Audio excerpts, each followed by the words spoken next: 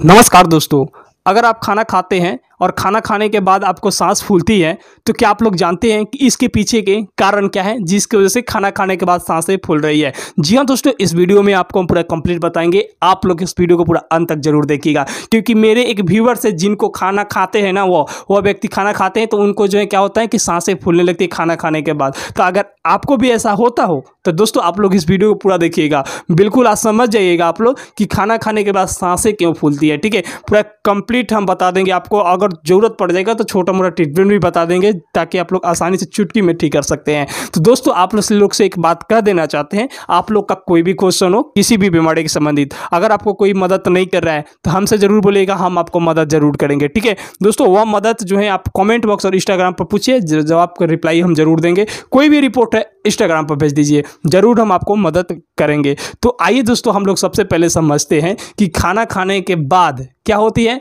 साँसें फूलने लगती हैं। तो दोस्तों, एक बात याद रखिएगा, अगर आप खाना खा रहे हैं और खाना खाने के बाद तुरंत साँसें फूलने लगी, फिर दस मिनट बीस मिनट बाद ठीक हो गई। तो दोस्तों, वह कोई बीमारी नहीं है, बिल्कुल आपको नहीं डरना है, ठीक है? अगर वही लगातार आपको बना रह रहा है तो वह दोस्तों किसी बीमारी का कारण आपको हो सकता है। दोस्तों कौन कौन सा बीमारी के कारण हो सकते हैं? दोस्तों, ये भी हम आपको पूरा कंप्लीट बताएँगे। इसलिए बताएँगे दोस्तों छोटा छोटा बात बताना ज़रूरी है, क्योंकि आप मेरा यूट्यूब फैमिली मेंबर हैं, ठीक है? इसलिए मेंबर है कि दोस्तों, आप मेरा बहुत सपोर्ट किए क्योंकि आप लोग की वजह से मेरे चैनल पर ग्यारह हज़ार सब्सक्राइबर कंप्लीट हो गया है और आप लोग का आशीर्वाद रहा तो और जल्द से जल्द चैनल ग्रो कर सकता है और आप लोग ही तो करवा सकते हैं। और यह चैनल सिर्फ़ आप लोग का है, जिसका नाम है बिहार फैमिली डॉक्टर, ठीक है? दोस्तों, आप मेरा फैमिली है, हम आपका फैमिली है। तो दोस्तों, आपको जो भी दिक्कत होगा, हमसे बोलेगा हम आपको मदद ज़रूर करेंगे कॉमेंट बॉक्स और इंस्टाग्राम पे।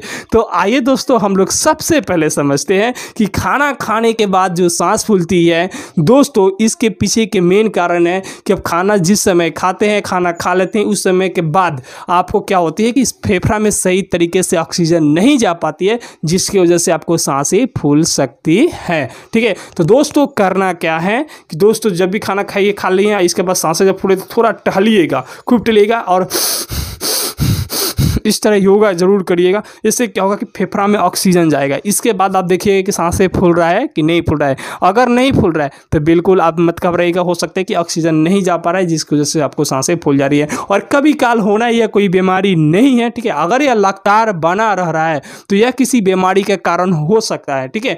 दोस्तों, वो कौन सा बीमारी के कारण हो सकता है, जिसकी वजह से साँसें फूलने लगती है, ठीक है? दोस्तों, नंबर वन हम आपको बता दे रहे हैं। अगर आपको गैस बहुत ज़्यादा पेट में बनती है ठीक है? गैस बनने के कारण से सीने पर चढ़ती है, सीना पर चढ़ता है तो क्या होता है कि बहुत ज़्यादा साँसें फूलने लगती हैं। इसके बाद दोस्तों हम आपको बता दे रहे हैं कि अगर आप गलत खान पान कर रहे हैं, इसकी वजह से भी आपको साँसें दोस्तों फूल सकती है खाना खाने के बाद, क्योंकि बहुत जल्दी गैस बना दे। और ऐसा चीज़ खा रहे हैं जो कि बहुत जल्दी गैस बना दे, ठीक है?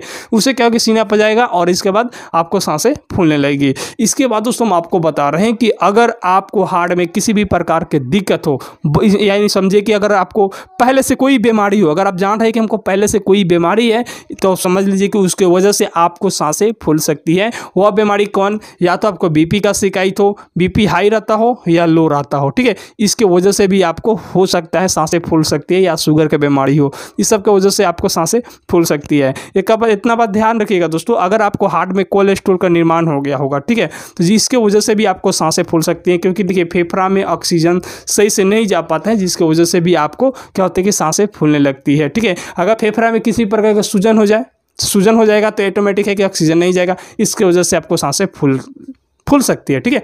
बिल्कुल आपको नहीं डरना है। दोस्तों, डरना नहीं है। देखिए, डरिएगा तो समझ लीजिए कि आपको इम्यूनिटी सिम्टम कमज़ोर हो जाएगा। इम्यूनिटी सिम्टम कमज़ोर हो जाएगा तो तरह तरह की बीमारी होगा तरह तरह की बीमारी होगा तो सांस तो दोस्तों फूल भी करेगा, ठीक है? देखिए टेंशन से क्या होता है कि आप टेंशन तनाव में रहिएगा, इसकी वजह से भी आपको सांस फूलेगा। इसलिए फूलेगा कि आप टेंशन तनाव में रहिएगा, खाना सही से खाइए, खाइएगा नहीं नहीं खाइएगा तो समझ लीजिए कि वही जाकर क्या करेगा कि आपको दिमाग, यानी खाना भी जो है, खाना हम लोग खाते हैं तो वो दिमाग से ही खाते हैं। अगर आपको दिमाग नहीं रहेगा तो खाना भी नहीं खा पाइएगा, इतना बात ध्यान में रखिएगा, ठीक है? जाना चाहिए भोजन नली में तो चल जाएगा फेफड़ा में खाना। ठीक है? तो इसकी वजह से आपको साँसें फूलने लगेगी, ठीक है? तो दोस्तों, यह सब कारण है। अगर आपके पास कोई भी बीमारी है तो उस बीमारी को इलाज करवाएँ, बिल्कुल आपको ठीक हो जाएगा। और कभी काल अगर आपको सांस फूल रहा है तो बिल्कुल आपको डरना नहीं है, उसको जल्द से जल्द ठीक कर देगा। ठीक है? करवा लेना है। और अपना से भी चाहिएगा तो ठीक कर सकते हैं। कैसे ठीक कर सकते हैं, आपको हम बता दे रहे हैं। अगर आपको जान रहे हैं कि मेरे पास बीमारी नहीं फिर भी खाना खा रहे हैं, तुरंत सांस फूल रहा है, ठीक है? तो उसको करना क्या है कि आप एक गिलास उसमें पानी ले लीजिएगा, उसमें एक कागज़ी नींबू डाल लीजिएगा और खाना खाने के बाद तुरंत आप पी लीजिएगा। बिल्कुल आपको आराम हो जाएगा, नहीं के तो बातें नहीं है, ठीक है? और आपको मोटापा होगा तो मोटापा को कम कर लीजिएगा, हो सकता है मोटापा की वजह से आपको होता हो, ठीक है? मोटापा भी आप लोग कम कर लीजिएगा। अगर बहुत ज़्यादा गैस की वजह से आपको सांस फूलने लग रहा है कि आपको पेट चढ़ा हुआ है, पेट फूला हुआ है तो एक डाइजिन सिरप ले लीजिएगा, उसको दस एम सुबह शाम पी लीजिएगा खाना खाने के बाद। बिल्कुल सांस फूलना आपका खत्म हो जाएगा। अगर आपको लगातार बना रहे तो आप किसी डॉक्टर से ज़रूर संपर्क करिएगा, क्योंकि अपना शरीर से बिल्कुल खिलवाड़ नहीं करना है, ठीक है? तो चलिए दोस्तों, हम लोग नेक्स्ट वीडियो मिलते हैं। इसके लिए आपको नमस्कार। जय हिंद, जय भारत।